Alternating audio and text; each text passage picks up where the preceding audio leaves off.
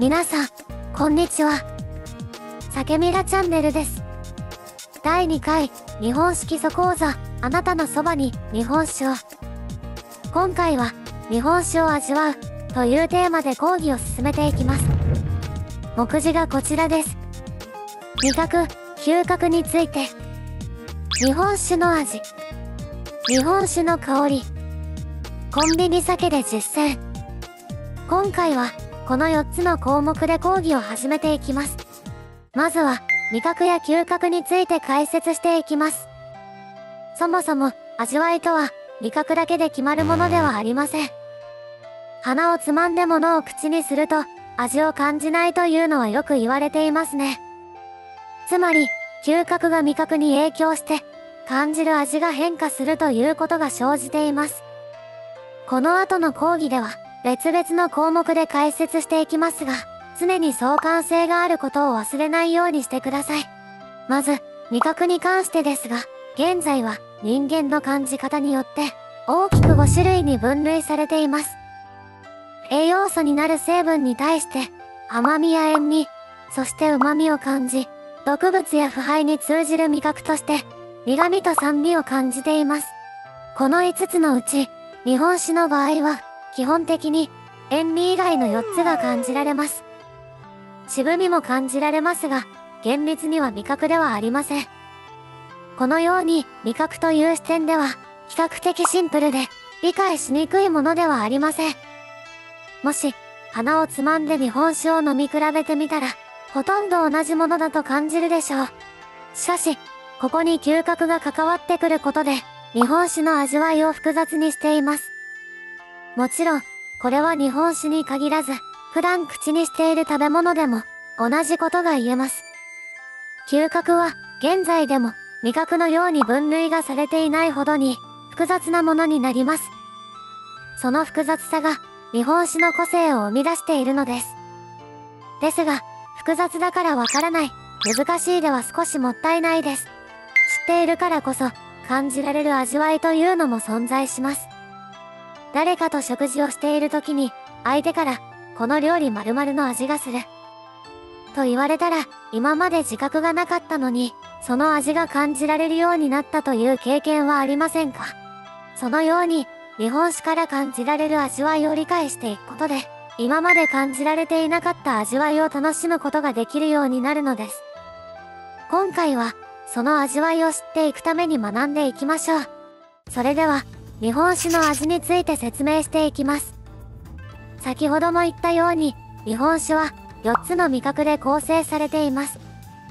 では、その味覚の元になるものは何なのでしょうか？日本酒の味の差を決めている要素は大きく分けるとアミノ酸に有機酸、そして糖分です。その3つを順番に見ていきましょう。まずはアミノ酸からです。アミノ酸は旨味はもちろん甘みや苦味、さらには酸味にも関わってきます。アミノ酸がいくつか結合した状態ではペプチドと呼ばれアミノ酸の組み合わせにより様々な味わいをもたらします。昆布などに多く含まれていて、旨味の元と言われるグルタミン酸や、苦味のあるイソロイシンやプロリンなど、多くのアミノ酸が日本酒には含まれています。次に有機酸です。あまり聞き馴染みがないかもしれませんが、クエン酸やお酢の成分である酢酸などが分類されます。有機酸は渋みなどが感じられるものもありますが、主に酸味や旨味に関わります。貝類に多く含まれる旨味成分である琥珀酸やシャープな酸味のリンゴ酸、比較的まろやかで厚みのある乳酸など様々な有機酸が含まれます。最後に糖分です。糖分は言わずもがな甘みになります。アルコールの元になる糖分ですが、すべてがアルコールに変わっているわけではありません。日本酒の中にもしっかり含まれています。ところで、日本酒って甘口と辛口という言葉が使われますが、この4つの味覚のどこで区別しているのでしょうか？そこで、日本酒度について触れていきます。日本酒の名を冠していますが、簡単に言うと、日本酒度とは、日本酒に含まれる糖分の量を示している値です。マイナスの値が大きくなるほど、含まれている糖分が多くなります。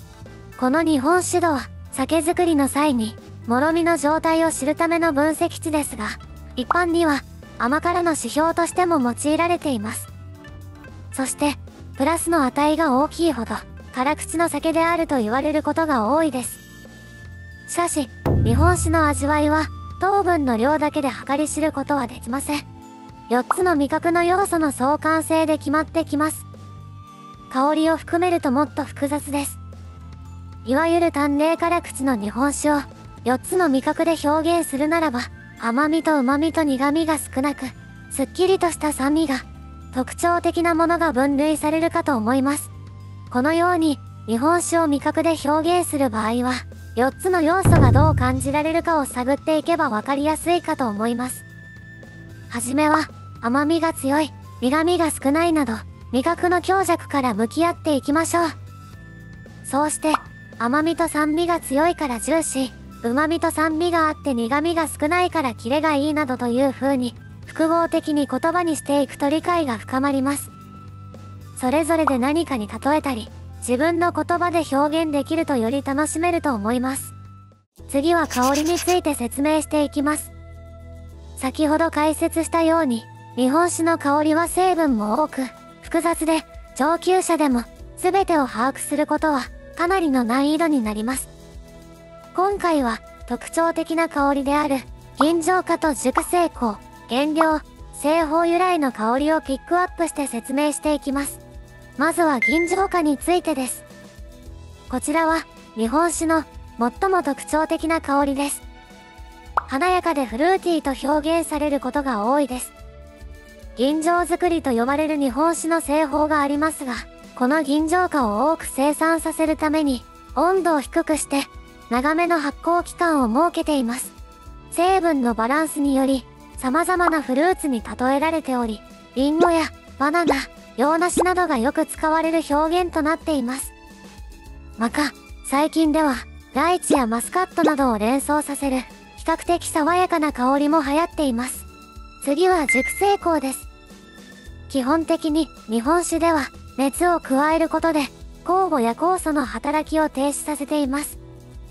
しかし、ゆっくりと化学反応が起き、色や香りの変化を生じています。そのようにして、時間をかけて熟成させることで生まれる、複雑で芳醇な香りです。カラメルや醤油のような香ばしい印象を伴ったり、ドライフルーツやスパイス、ナッツのような香りがあります。この香りがしっかりするタイプの日本酒は、色も変化している場合が多く、黄色く見えることがあります。最後に、原料や製法由来の香りについてです。日本酒の原料であるお米や米麹に由来する香りや貯蔵樽や酒造りの方法に由来する香りをここに分類します。例を挙げるなら、麹米の割合が高い日本酒では、麹を思わせる栗やキノコのような香りがしやすい。気軽で貯蔵すると、木の香りがお酒につくなどの場合が当てはまります。また、熱処理をしていない生酒では、フレッシュなイメージの青りんごのような香りがする場合もあります。このような香りがいくつも重なって、日本酒の香りが形作られています。香りの成分は、揮発して空気中に広がるものなので、温度変化や改正してからの時間経過などでも変化しやすいことも楽しめるポイントです。液面に鼻を近づけた時の香りと、口に含んだ時に鼻から抜けていく香りの2つを意識すると、より香りを楽しめると思います。味覚と嗅覚を合わせて、自分の感じた感覚を言葉にしていきましょう。ここまでは、講義という形で、言葉で説明してきましたが、日本酒を学ぶなら実践が一番です。そこで、コンビニなどでも、簡単に手に入るお酒で、ここまで学んできた日本酒の味わいを探っていきましょう。まずは、松竹梅の純米酒です。純米大吟醸酒をブレンドしているからか、ほのかに爽やかな吟醸化が感じられました。味わいとしては、甘みが比較的少なく、後に残らない苦味と旨味が印象的でした。今回取り上げた日本酒の中では、一番すっきりしていて癖がなく、日本酒といえば、こういう味を想像する方が多いのではないかと思われる味わいでした。次は、菊水の船淵一番搾りです。香りは、植物を思わせるような青い香りと、製造から2ヶ月経っていた商品のためか、少しナッツを思わせる香ばしさを感じました。商品にも、熟成で、味わいの変化が楽しめると書いてあり、熟成の程度で、いろいろな香りが体験できるかと思います。変化しやすい生酒の特徴の一つですね。19%の原酒であり、味わいは甘みも旨みも強い、かなり濃厚な日本酒です。比較的透明度も低く、濃さが際立つお酒でした。ロックにすると甘くて爽やかに感じられ、2度楽しめる日本酒でした。次は菊正宗の樽酒です。こちらはかなりわかりやすく、ヒラルの香りが感じられます。隠れるようにバナナ系の銀醸化も感じられました。味わいとしては、旨味がしっかりあり、肝と由来なのか、厚みのある酸味も感じられて、濃厚な日本酒でした。今回は、日本酒を味わうというテーマで、味と香りについて解説してきました。先ほども説明しましたが、日本酒を学ぶなら実践が一番です。今回紹介した日本酒を手に取って、ご自身で味わってみてはいかがでしょうか。